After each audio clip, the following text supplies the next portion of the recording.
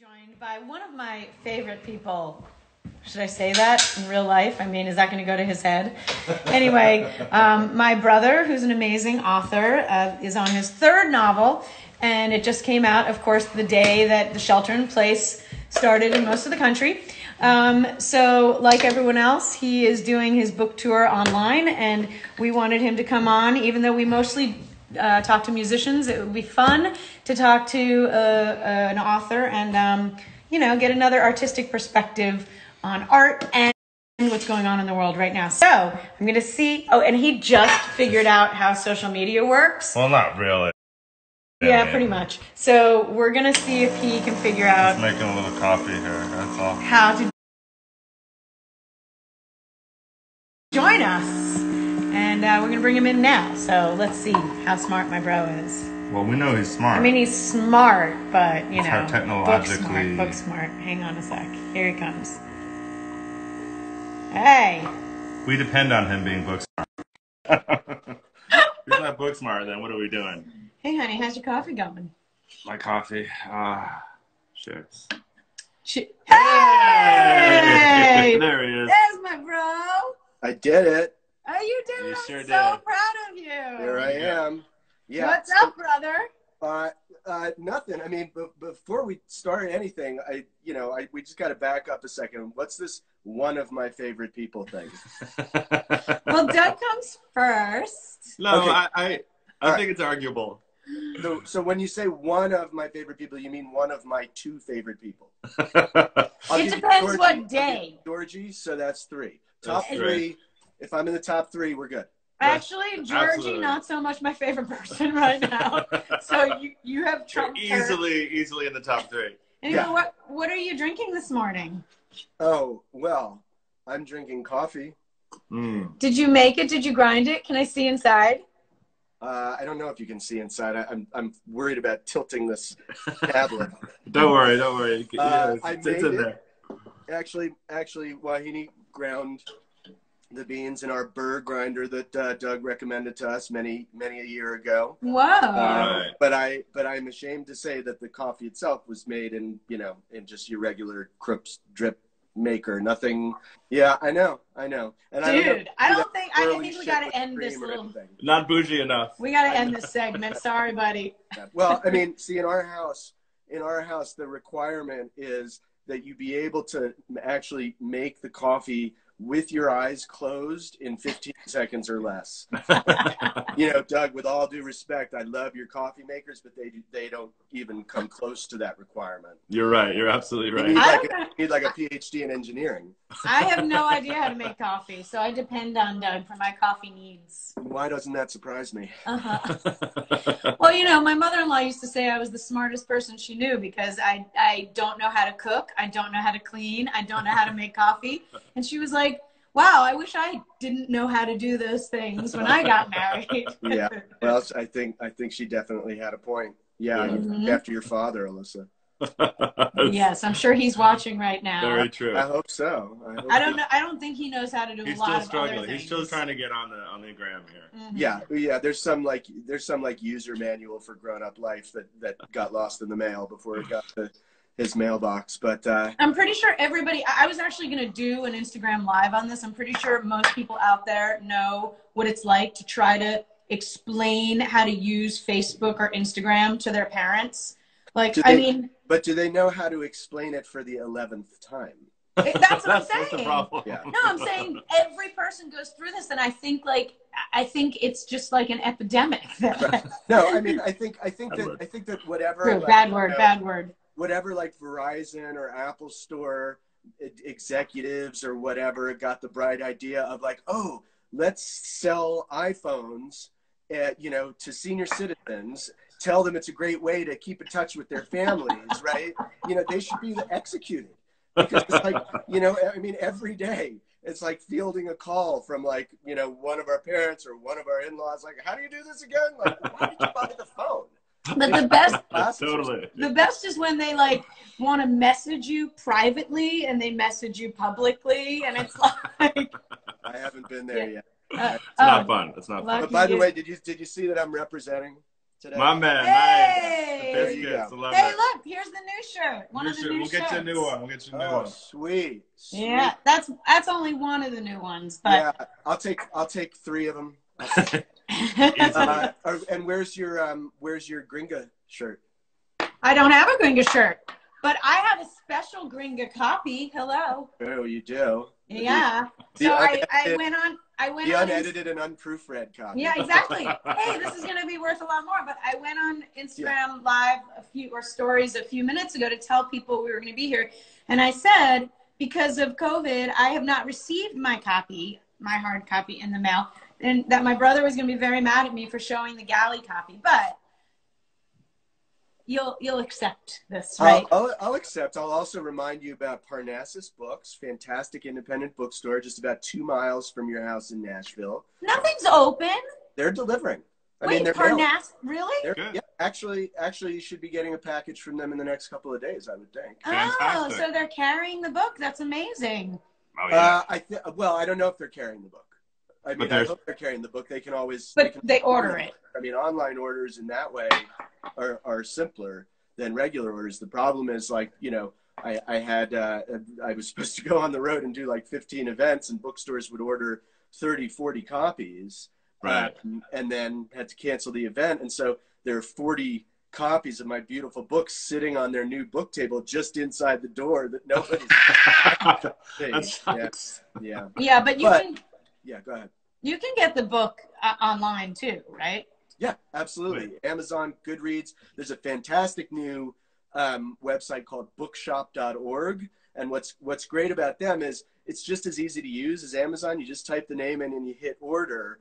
Um, but in that, but in the case of bookshop.org, local and independent bookstores get a cut of the sale. So it's so you know it's not the Amazon model where Yeah. they're cutting bookstores and publishers out of it almost entirely. So I've been recommending people get the book on on bookshop.org. It's great. It's a great. I have to say, what's Okay, great for like people like your moron sister. Uh-huh. Does anybody see how big this book is? Uh-huh. Anyway, I saw that it's an audiobook too. In case you have to do a lot of things and you fall asleep every time you sit down after having a kid to read, you can get it on audiobook. Is that not true?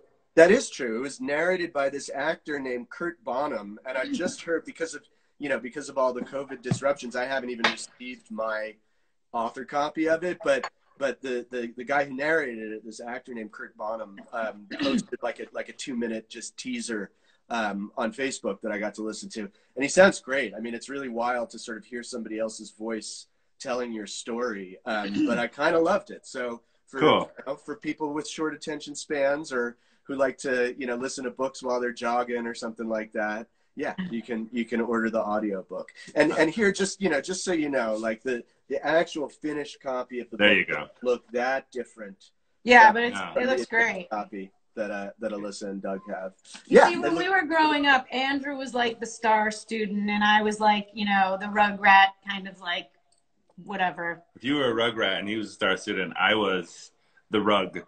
Oh yes, the three of us all grew so up she was together. crawling all over you is that what you're Yeah. saying well, eventually. The three of us grew up together. For those of you who don't know the Graham story, millions of times now, we grew up together. Andrew actually and Doug were in a band together and on Little League together. odyssey forever Odyssey, that's right, and our that's first how band. we, that's how we met and uh, so we've all you know we're kids like us together oh yeah that's us see there's our new record vinyl Yeah. kids like us. We'll talk about that later. But so we go way way back all Way three back. of us not just my brother and me me and my brother. Correct me. Go ahead andrew. We, we would we could use some correction here, You know, Andrew. I, I stopped listening for a second so. I'm glad you're wearing your your graham shirt instead of the the shirt i sent you which says i'm silently correcting your grammar which oh yeah. Yeah i give that to wahini. She sleeps in it Good. That must be nice to wake up to. anyway, tell us about Yeah, tell your us. third novel, which just got rave reviews in the LA Times and the London Times. And um, and you know, this is my favorite one yet. I'm I'm only about halfway through, but I tried I- to use smaller words in this one. You, yes, you did, and I didn't have to read it with a dictionary, so I'm excited. Well, that was only the first one, but that I was mean, also yeah. an amazing book. But one It of the things I love about all your books is that for me, I, I really like historical fiction, and there's a lot of historical fiction in Lady Lazarus. Your first, first book is loosely based on Rock and roll. rock and roll legends. I mean, we yeah, one poetry, couldn't. punk rock, and suicide. That's what that. Yeah, That's right. That was great. and this Okay. one is loosely based on the story of Lori Berenson, which if people don't know Let who him that tell. is, Let him. I'm going to. And that's why I'm setting it up. I'm setting it up. So tell us a little bit about the book. Yeah. Okay. Um, so, uh, as you guys know, uh, because you visited me there, I lived in Peru in the late '90s for a couple of years. Um, I was just a sort of, you know, kicking around, sort of privileged American gringo with enough savings to sort of, you know, to live in South America for a couple of years. Um, it was it was a, you know it was a weird time in my life, but it was also a really amazing time in my life. I got to know that country really well um, and the people, and I learned Spanish, you know, reasonably well. Um, the two of you visited me there. It was great. We hiked the Inca Trail. We saw Machu Picchu. We did a lot of great stuff. We caught the same, you know, uh, communicable foodborne illnesses. It was it was awesome. Um, Yeah. but one of the things that was going on in that country at the time, um, or had recently happened, was that there was this American woman, um, uh, originally from New York, who had dropped out of MIT in the late 80s and had spent a couple of years in El Salvador during the end of their civil war in the early 90s. And then she sort of wound up in Peru in the mid 90s. And next thing anybody heard of her, she was arrested um, by like counterterrorism forces. She was renting this house in the suburbs um, and there were like 12 members of a of a leftist militant group there. The government said that they were planning to attack the Congress building and, and abduct legislators and force like hostage exchanges. And this whole thing was against the backdrop of this hor- horrific 12 year dirty war that the country had recently fought against a Maoist uh, insurgency called the Shining Path. 70,000 people had been killed. And so nobody in Peru was in any mood to put up with, you know, this white girl from the US kind of interfering, maybe trying to stir up revolution again. I mean, she denied that she had any part in this. And it's really not clear what part, if any, she actually had.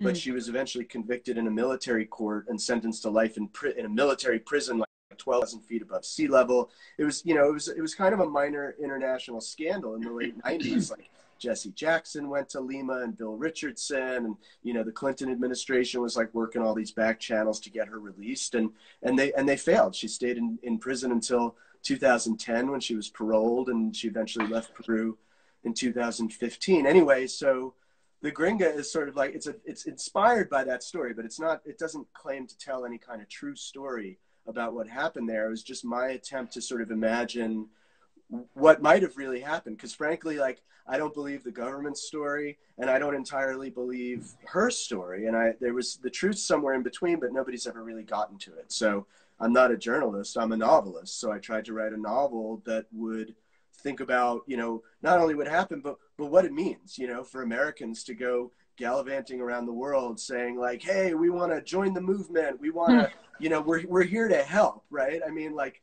Yeah. what what could be more terrifying to someone who lives in the developing world than an american showing up saying i'm here to help right? I mean it never really works out that way. Which is So- what all us like starry eyed, sort of liberal college kids at the time, even now, thought we could, you know, think we can do, although none of us really took it to that extent and actually tried to do something maybe whatever way she was trying to do it. We obviously we don't know, but still, you know, I think all of us had that starry eyed vision of like, we want to save the world and help the movements and whatever. right and right and and and and coming from the united states like you can you can have those thoughts. You can march in the street. You can write your editorials or whatever and there's not very much at stake. I mean nobody's going to come kick in your door and throw you in a military prison.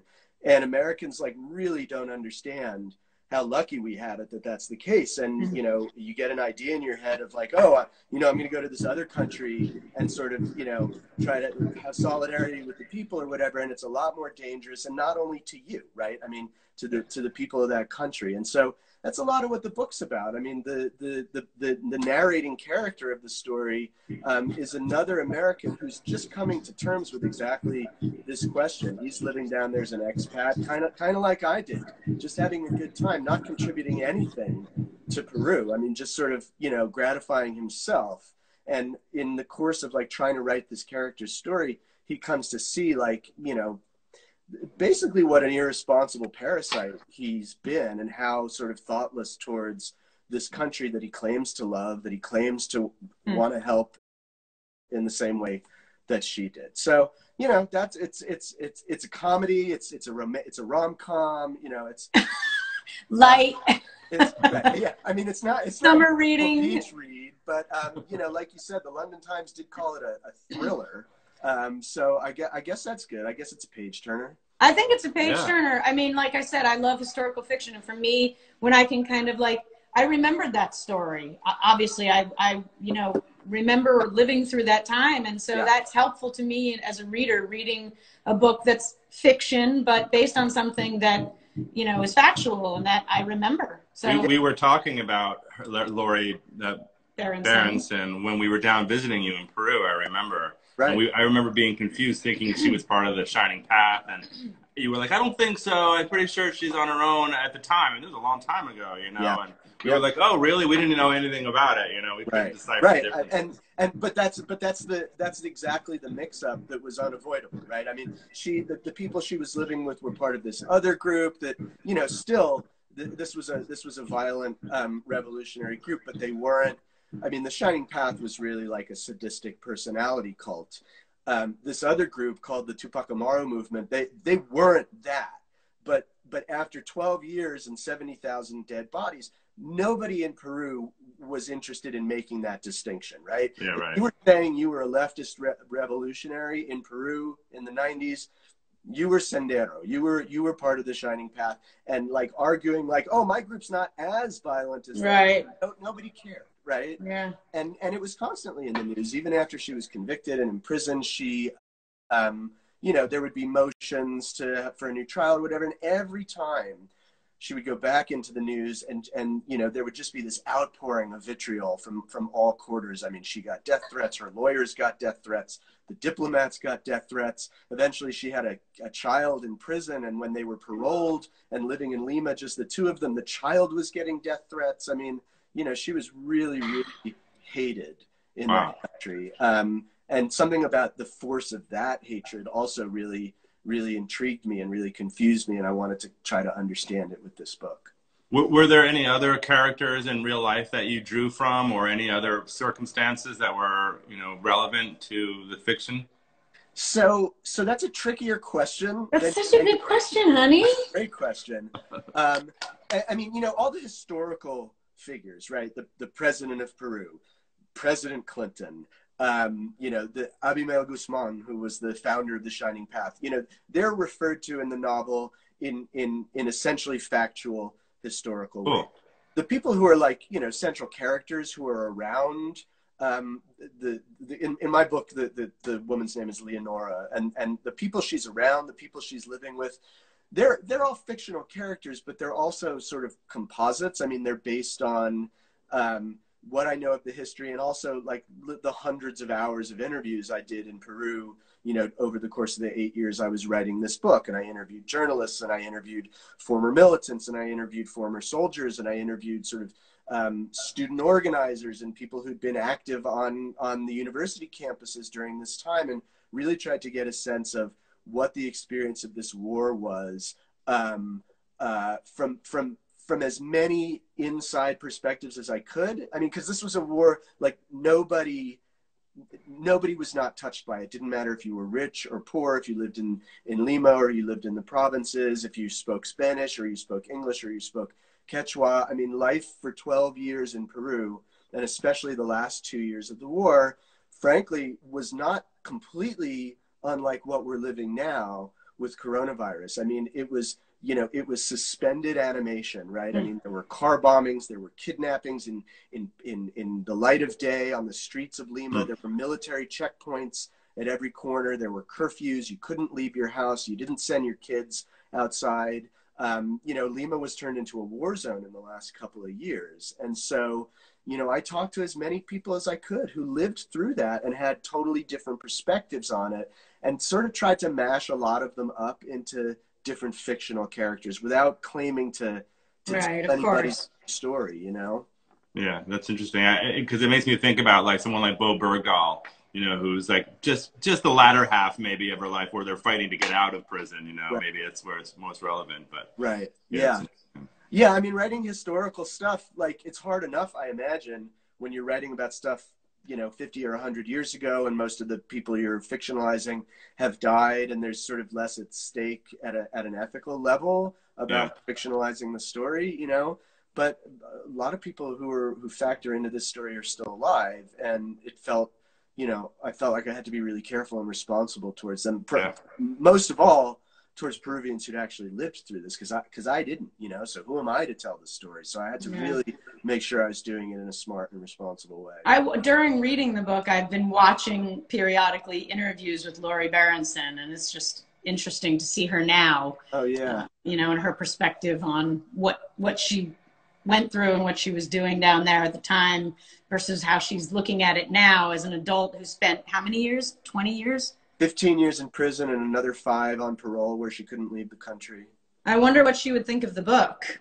I don't know. And and it's interesting. Like I, I have deliberately not watched a lot of footage with her because I you know, I, I wanted to make sure that I wasn't trying to tell her story. I don't have right. any record tell her story. I don't know anything more about her story than you can read in the newspapers. And so I felt like if I watched too much of her, it was going to bleed over into what I was writing. So, you know, yeah. I'm interested to hear you to talk about kind of how how she how she talks about that stuff. I don't know what she would think of the book. I mean, if I were in her shoes, I probably wouldn't be that happy about the book. it would probably be hard to read it without feeling like, you know, that's not true. That's not what I thought. That's not what I felt. Yeah, which, right. which, which is why you know I wanted to make it absolutely clear this isn't a true story. Of course, it's not based on her. It's you know it takes the general outlines of what happened and tries to write a fictional story about it. Yeah, that's cool. So um, we told everyone that we were going to do some reading and do some music and whatever, and so. I, wanna... I, like both those things, but I can't play music to save my life. that's know? not true. Bullshit. you started an Odyssey, man. The band yeah. Odyssey. My brother's an amazing singer and guitar player. For all you literary people out there who know him know. just as an author, he's an amazing singer. Hey, he used to sing like Genesis songs and what else? Like all kinds of great songs. Yeah, Pink Floyd and whatever. And then he stopped because you know he couldn't compete with me. So something like that. yeah. So At do you want to volume? You want to do a, a, reading from the book and then we'll play a song maybe? I do, but first we have a special guest who Oh my goodness! With a spe- Who's on television? With a special message. We have here, we have a special message for Covey's aunt. What's that? What is it, Boo? Happy birthday uh. to you. Happy, Happy birthday, birthday to you. Happy, Happy birthday, birthday, dear Alyssa. Yay! Happy, Happy birthday to you. Yay! I love you, Cup Cup yes. Two days. My birthday's not today to everybody, but this is a good. This is my nephew wanted to sing today, so that's perfect. But you know what, Cub? You're gonna have to sing again in two days. Promise. Pink Floyd, buddy. Pink Floyd. Who got you that shirt? Uh, yeah, who got you this shirt? Do you remember? Atha did. Alyssa. I and did. Alyssa did. Yeah. I yeah. love you, Boo. You want us to play a song first so you can watch? Okay, let's play some. Yeah, Oh boy, I, I, thought you were gonna read first. Well, How did that happen? Your vocal scales today, Doug? exactly. So morning time singing is always a blast. Not that this song really has anything. You know, I watched this thing once a while ago with this author who shall rename remain nameless because I don't even know his name, but he did an exchange like this with this artist uh, Rachel Yamagata, who I'm a fan of, uh-huh. and. Uh, Okay. You know, they kind of swapped like readings and then rel- you know songs that kind of related to the reading, which oh yeah. We can't necessarily do. However, you don't have any songs about violent revolution. Exactly.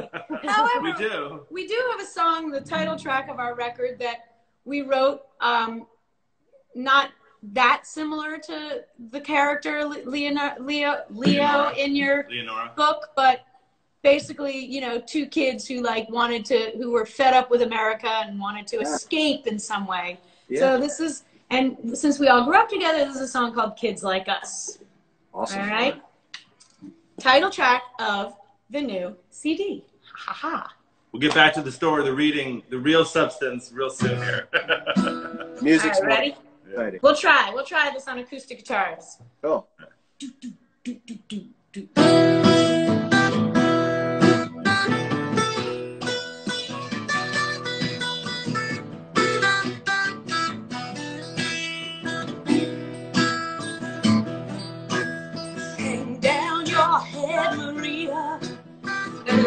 long hair down. There's nothing left undamaged on the streets of your hometown. The blood red sun has scorched the fields from here to Arkansas.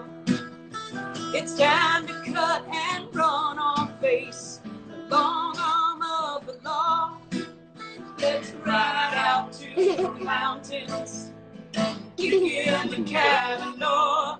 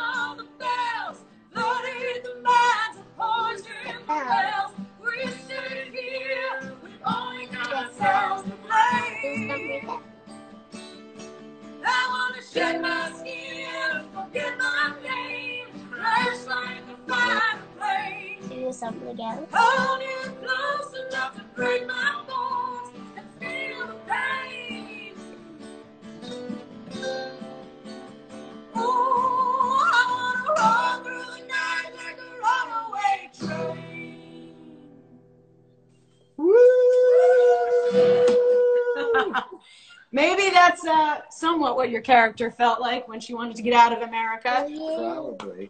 Cubby says, "Happy birthday, Atta." Thank you, Boo Boo. I love you so much. Homeschool. Look, you can see. Oh well, yeah. All right, so we got more coming right at you right now. Right now, we're gonna read some from the Gringa, the oh, new you are? by author Andrew Altschul. You can read it if you want to listen. You definitely don't want me to.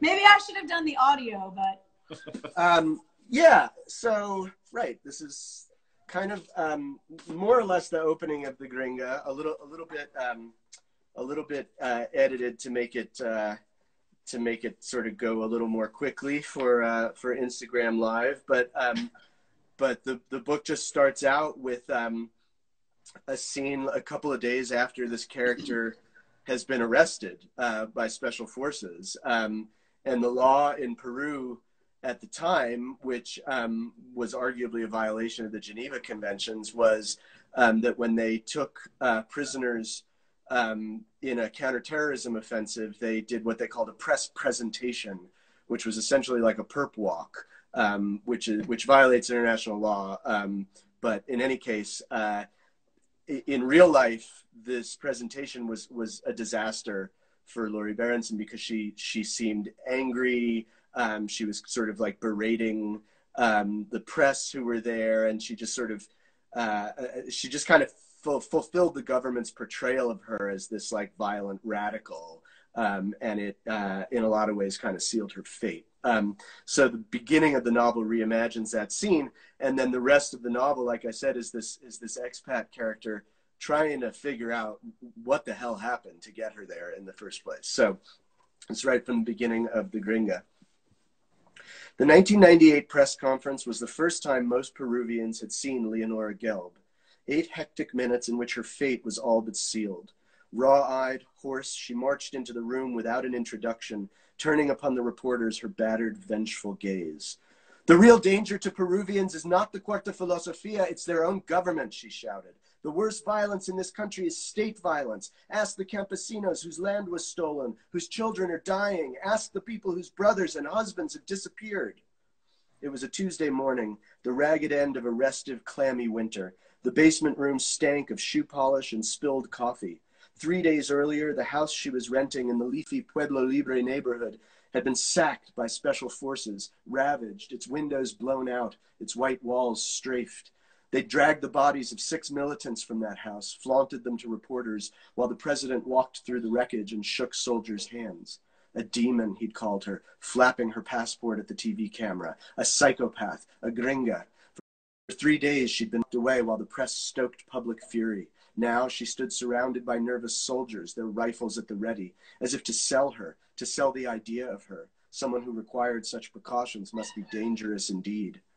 But the demon was doll sized, something farcical about her wild, wiry hair, her wet pants. In her powder blue sweatshirt and granny glasses, she looked more like a third grade teacher than a murderous subversive. They couldn't match this figure to the footage the whole country had seen the burning house, the smashed gate, smoke whirling up into searchlights like a vision of apocalypse. They didn't see a monster until she opened her mouth to speak. No one can deny the terrible inequality, she said. No one can deny the racism and exploitation that keep millions in poverty while a tiny group enriches itself. This country was founded on violence, built on violence. The wealthy protect their privilege.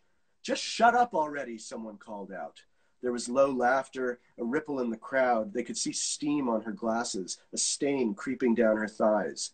Why were there guns in the house, Leo? Another voice called, and then a deluge. Who stole the military uniforms? Leo, why did you have blueprints of, co- of Congress? Were you working with the Cubans? Leo. Is this justice? Leo cried. Is it democracy? Leo, were you the girlfriend of Agustin Dueñas? Leo, do you work for the CIA? Are you a terrorist, Leo? At this, she pulled up, blinking. The room took a breath. Leonora, are you a terrorist? Her eyes scanned the back wall as though looking for a familiar face. The question came again, and she licked her lips, the whole country waiting for her answer. Years later, in the forsaken silence of her prison cell, she would still lie awake, contemplating a word. She would turn it over in her mind, try to understand its nature, to find her reflection in its empty depths. Was she, or was she not, a terrorist? In these pages, I've tried to sort through the evidence to determine what she wanted, what she might have felt. From disparate fragments and glaring absences, I've tried to build a coherent narrative, one that does justice to the history and its many victims. I've tried to keep my own feelings out of it. I've tried to consider all sides. But it's been more than a decade. The words terror, freedom, democracy, war, they don't mean the same things anymore. Leo, the reporters shouted. Her hesitation had made them predatory. Answer the question. A man stood on a chair and yelled, Fuck you, Leo, and fuck the philosophers. How many of them did you have sex with, Leo? Leo, why did you come to this country? Why do you want to kill Peruvians? How are they treating you in jail, Leo? Have you been raped? The soldiers moved to quiet them. Leo's breath came heavily, a shadow of alarm playing across her face. Everyone waited. Just as it seemed there would be no answer, the prisoner cleared her throat. The Cuarta Filosofia is not a terrorist organization, she said. The sudden crush caught the soldiers off guard. Tape rolling, flashes exploding. Leo, they called out. Leo! Is it terrorism to love freedom? She said. Is it terrorism to hate injustice, to feed people who are hungry? She lifted her broken arm as far as she could, her hand white and clammy and clenched with effort. And when I watch the clip, I see her trying to quiet the crowd, to finish what she wanted to say. But the press told a different story, repeated it until it became its own truth. La Leo raised her fist in defiance. She made a gesture of militant solidarity. She dug her own grave. There are no terrorists in the Cuarta Filosofia, she said. It's a revolutionary movement fighting to improve the lives of people who've been forgotten. She craned her neck, her voice cracking. If it's terrorism to help poor mothers and sick children, then I'm a terrorist. If it's a crime to stand for workers and the oppressed, I accept whatever punishment I'm given. And there it was the red meat, the money shot. Every newspaper in Peru ran the photo the next morning the hysterical savage, the white girl brandishing her fist, and the identical headline Yo soy terrorista. It was a disaster, a kind of suicide. Her captors could not believe their ears. Five days later, Leonora Gelb was sentenced to life in prison for treason and leadership of a terrorist group. The prosecutor stood before the judges in their canvas hoods and shrugged. The matter was out of his hands. Senores, he said, the prisoner has already confessed. Hmm. Awesome, man. This is the beginning yeah. of the book because it's I... the beginning. Yeah, it's all downhill from there. yeah, right. No, I mean it's that's you know, reading the beginning awesome, of a book like that is super gripping, and you know, it drew me right in. Even, even when you're reading it now, like it started off like, "Cool, reading on the internet. This is interesting. Okay, let's see." And then by the end, I'm like, "Wait, don't stop, don't stop." Uh, well, that's nice. I feel like you know everybody, just... everybody who's watching their day just took a turn towards the dark. Can, can no, just, I don't think so. Can you just story time for Doug? I need story time. Sure, sure. Story you can, time you can just CBD. tune in while Cubby and I read Winnie the Pooh for the eleventh time. yeah, right. So the the Winnie the, the Pooh is a lot better than if I were an owl. Yeah, I'd have scratchy feet. Oh, sure. We never had the owl. We had if I were a puppy. We had if I were a bunny. A bunny too. We have yeah. that too. We have that too. we had one other. I can't remember what it was, but. Uh, so just to clarify again, I know owl, we touched uh, on this, but the narrator in the book, yeah. the journalist, yeah, is Andreas. Andres, yeah. And he's not you. He's but not me. Again, loosely based on your experience in Peru? I mean, sort of. You know, it's more it's more based on like how I look back now as as a more mature and and and thoughtful person on my experience in Peru. You know, I mean, w- w- the the way I think of it now is like I got a hell of a lot more out of my time in Peru than Peru got out of my being there. You know, I mean, I was sure I was there for myself. I wasn't there for anybody else. And i was there because i you know because i'm a privileged white american who can do that kind of thing who who can afford to you know reinvent myself or whatever it is that we call it. And most people in the world don't don't have that ability. Right. and you know i mean I'm, I'm not saying i behaved badly when i was there but the whole question of like you know what does it mean for someone to come down to your country and reinvent themselves and to sort of use the country as a as a sort of backdrop for their own you know whatever spiritual journey or whatever you want to call it like there's something pretty icky about it and like so the character of andres is um, you know he's someone who the book understands this about him in a way that i didn't understand about myself at the time and so it kind of exaggerates a little bit his his irresponsibility i mean he's he's knocked up his girlfriend and so one of the reasons that his Peruvian girlfriend. Spoiler alert! Well, you know, not really the main plot point.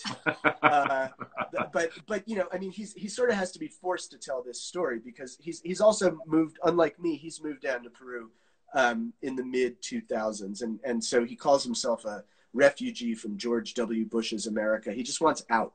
He wants to get away from post 9/11, Patriot Act, Abu Ghraib, invasion of Iraq. Like he's just disgusted, and you know he wants out.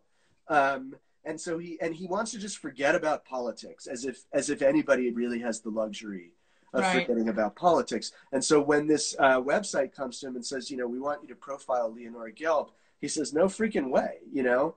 Uh, but he's running out of money. Uh, his girlfriend's pregnant and he's way too irresponsible to try to you know step up. And so he takes off from the from the city he's living in and just goes to lima and and dives into this story. Um, yeah and in the process of telling it, he, he kind of figures out, you know, he, he sees himself in exactly the light that I now kind of see myself from, from 20 some odd years ago. Interesting. So you learned about yourself writing this book, probably.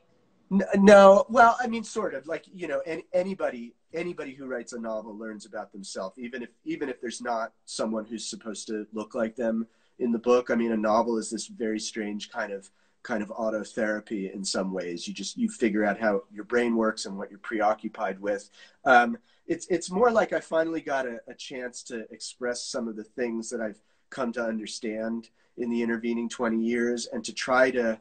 I mean, this maybe sounds a little grandiose, but but maybe try to give something back to Peru, if it could only be the sort of respect and, and consideration of, of the trauma that country went through you know, 20 years too late. I mean, I should have been able to give something to that country then, but this is the best I can do now.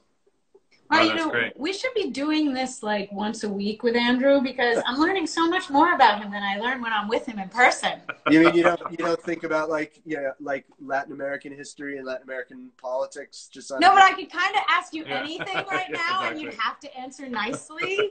well, we'll see about that. Keep pushing and we'll see where it goes. You know, uh, yeah, that's really amazing. Ten people watching could learn a lot about you if you're not. Uh huh. Uh huh. You asked me but, if there are any sub.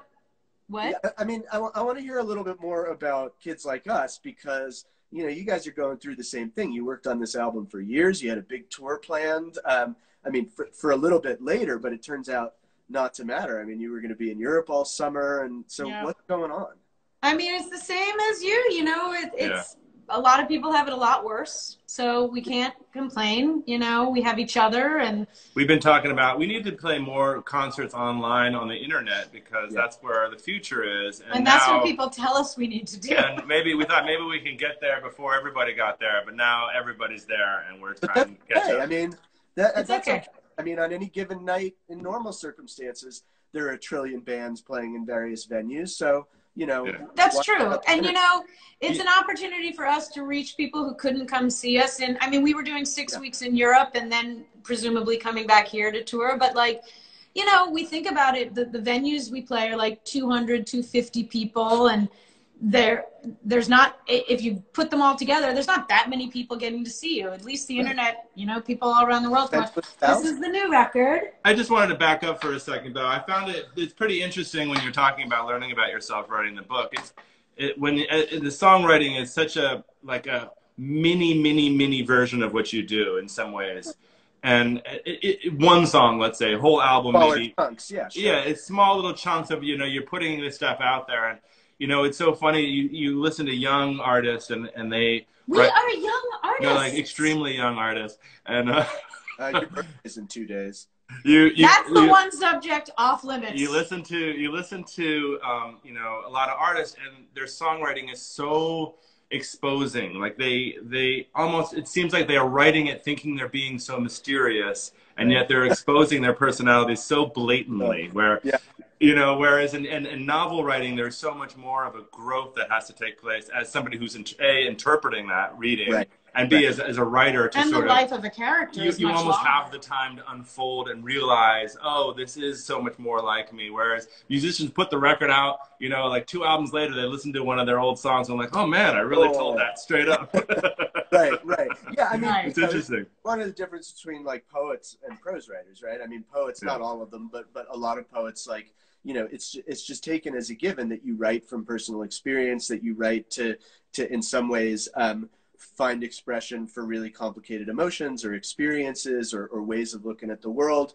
Um, I think that happens too with fiction writing, but it's masked in a way. And so when I when I call it like autotherapy, it's it's it's more like or more like auto psychoanalysis, right? Like yeah. like like you can especially once you've written uh, you know a couple of books, uh, you know a, a dozen, two dozen short stories. What I'm talking about is like not the process of writing them, but the process of going back and, and looking at them and seeing what sort of comes up again and again, maybe changes shape or changes its face or, or its tone a little bit, but certain things, certain kind of dynamics that come up again and again in the stories. And you only notice them sort of after the fact. And then you say, huh, I didn't know that that was something that really meant a lot to me or that I was trying to work out or confused about, right. but it's all right there. I mean, it came from somewhere. Um, yeah. So yeah that's always really fascinating to me. Well, yeah, I no, wonder, I can I can relate to that. It's really amazing. It's I really wonder amazing. if since you know, particularly me and my brother, is that right? No. Me, Depends. And, Finish the sentence. I wonder if particularly me and my brother, but the three of us who grew up together, and also Brian McCann, who no, writes with us. Yeah. Fuck. Anyway, I wonder if if somebody read three of your books and listened to three of our albums if they'd see any sort of you know similarity in our history and where we came from and what sort of we've expressed and, and themes that we go back to again and again. I wonder if there's any similarity. Yeah. Well, I think something like the song that you played, "Kids Like Us," you know, and then and then if someone reads my book, you know, they might say like, "Oh, okay, you know, I get I get a kind of like outlook here. I get a I get a personality." You know, true. It's so familiar we should it's so maybe familiar do some to me. Of, uh, yeah, we should maybe do some kind of collaborative project. You know, a record and a book called like Our Basement. called like how our parents screwed us up. That's how sort us, every like, record or every book. Right, right, right. This weekend's party our at the Altschul's house. Jersey suburbs. Yeah, exactly. Right, our, and just to fill it, and just to fill in the history for people here. Yeah. That you know, I'm the I'm the older child. And, Obviously. You know, frank, frankly, you know, the favorite child. Um, Obviously. And, uh, and uh, you know, I got away with a lot of shit when I was a kid, including having a lot of keg parties in the basement of our house in the suburbs. You didn't get away with it. Mom and dad bought the kegs. no, they didn't buy the kegs, but they were pretty lenient about it. But uh, anyway, more or less, uh, this is how Alyssa met Doug, is when I failed to keep my my pest of a little sister from sneaking down into the parties. And then, you know, there's this, you know, handsome, not quite as bearded dude playing a guitar. Yeah. Uh, smoking a lot of weed. How, smoking a lot of weed. No. And that's how the Grahams met. that's right. So you're taking full credit, basically. That's true. I, you know, I mean, I don't know Old if credit's the word I'm looking for, but yeah, I mean, I'm just, I'm just filling in the blanks. Hey, man, based on the, on the like, you know, people who hung out at our house weekend after weekend, you, you lucked out. It could have been a lot worse. oh, that is true. That is true. that is true. I, I, have to even agree with that yeah, one. Yeah, I mean, I won't name names, but there's some people I think of that I could be married to that it would be a lot, you know, worse for our family. I, um, I could think of some names, but yeah, let's let's not. Let's not. Let's not. Uh, um, so speaking of, you know, you're talking about Andres who, who knocked up his girlfriend, which spo- that spoiled it, the whole book the for whole me. Book. but so wait, didn't you say you're halfway through? We got like we got halfway like you know I don't know like 10, 12 minutes left, and okay. and so let's play a song and do another yeah. reading, and okay. I'm gonna play a song that started about um, Doug and I having sex in the back of my Honda. Oh boy the first time, right after we met in, in the basement through my big brother. That's so awesome. Thanks. That's not how it happened. This is just being a shocker. Uh, but there is a line about something like that. no, that's how the song started. But it ended being a song about, you know, this whole like. Well, you decide. You tell us what it's about. I'd no, it's not. a song about getting back to love. Come on. Love this is a song. What? Love in the back of a Honda. Love in the love in the back of a Honda. No, honestly, no. it started that way, that way, but it ended about a song like we wrote the, the record while riding a motorcycle across the country during election season, and we were we were very obviously distraught. Gigi, this is a family show. Yes. Thanks, Garzy. Um, but uh, you know, we ended up like having all this like anger and hatred as we were going across the country. And what we realized at the end of the journey was, as cliche as it sounds, is we're kind of running out of time for for love. We're running out of time for people to get back together. and no, no, no. I decided we'd play this one because of the getting knocked up thing, which I did not get knocked up at the time. There's a lot of single. Are you doing okay there, Andrew? You doing okay there? Back to love. Back to love, Gars. Okay, sing your ooze, honey. It's Instagram Live. Usually, it's not the Philharmonic. Usually these uh, harmonies are backed up by multiple singers. Uh, I'll be singing some solo ooze. Garza, you sing too. Yeah. two, one, two, three, four. I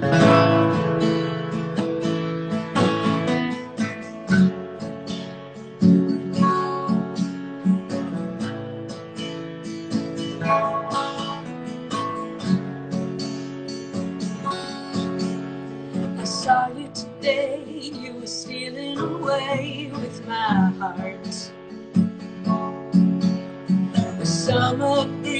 Breeze me to my knees, I fell apart.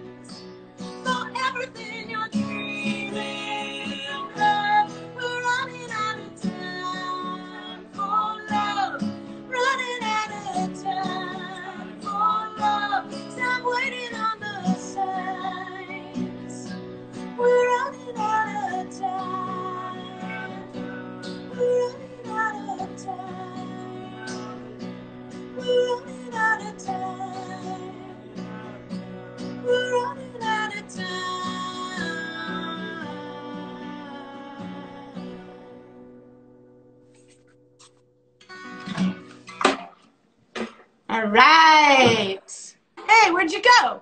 I don't know. You got to flip it around. I was trying to send up some bubbles, but I'm not really good at this. Uh, nice. Hearts and bubbles. How do you do that? I don't even know. Well, you I, can I, put like little faces on there, I think, but I'm not going to mess with yeah, anything. Mess with it, man. Yeah. Um, That's great. That was great. Yeah. I, I, feel bad for the guy who had to detail that Honda, but otherwise the song was awesome. no doubt. no doubt. Uh, it was really quick, so you know. yeah. There's no time. no time for love. Yeah.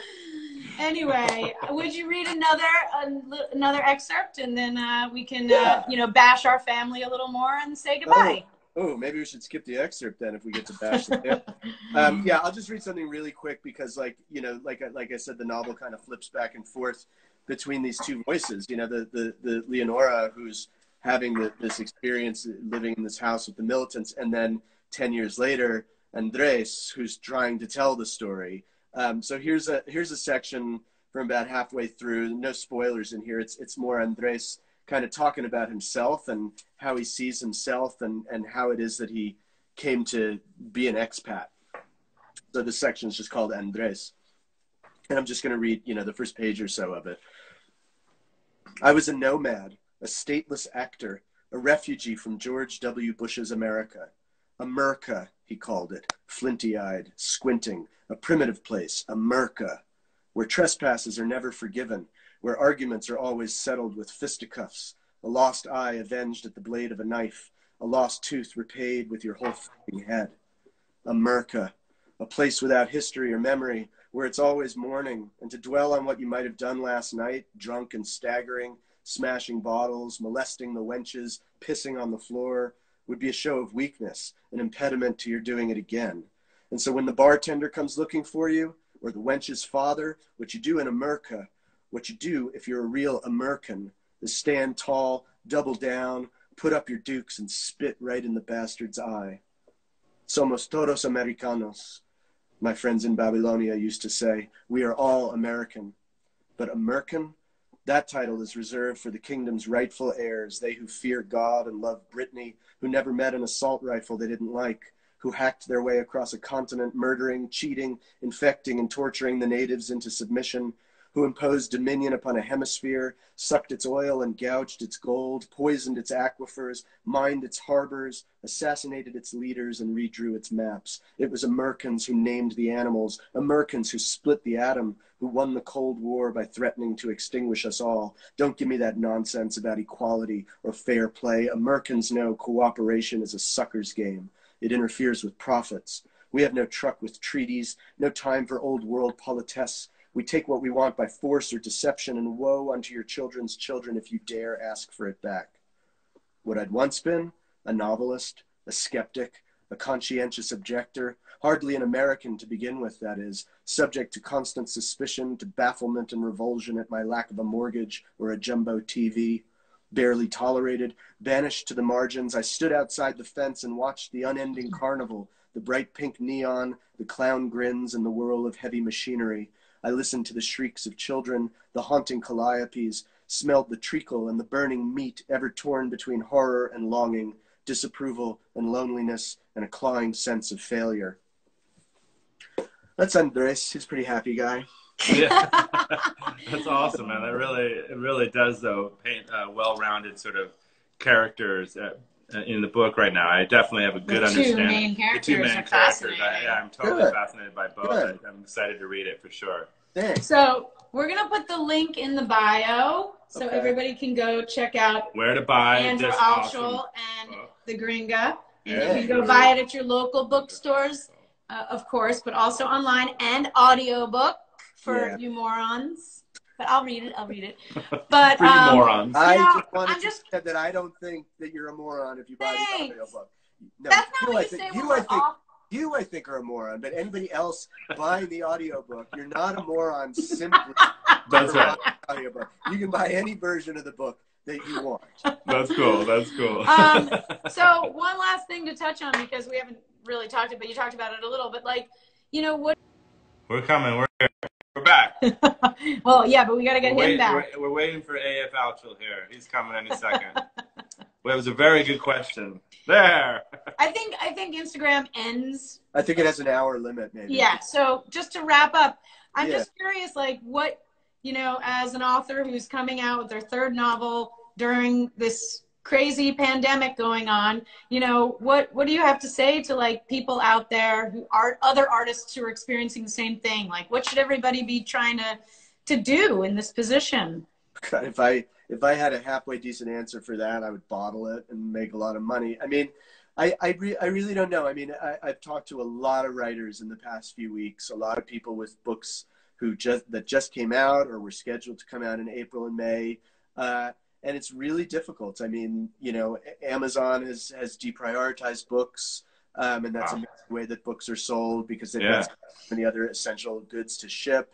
Um, you know, the bookstores are closed. They're selling online, but it's but it's you can't go in and, and browse, and so everything is about getting the word out. But first of all, everybody's trying to get the word out, and second of all, like a lot of people are really paying attention to other things with good reason. So I don't know the answer to it. I mean, all, all I'll say is that is that one kind of bright spot in all of this has been um, the the the sort of solidarity that um, that artists have really have really shown for each other. I mean, uh, I'm just speaking for writers. Like a lot of us are like um, you know in in online groups together and helping to promote each other's books to get the word out, inviting each other to do to do various kinds of online events. Um, you know, uh, uh, unlike, well, I mean, it's a little different with music. Maybe maybe it's a little bit the same. Also, like you do so much of writing alone. You know, sitting at your desk, you know, in your pajamas with a cup of coffee.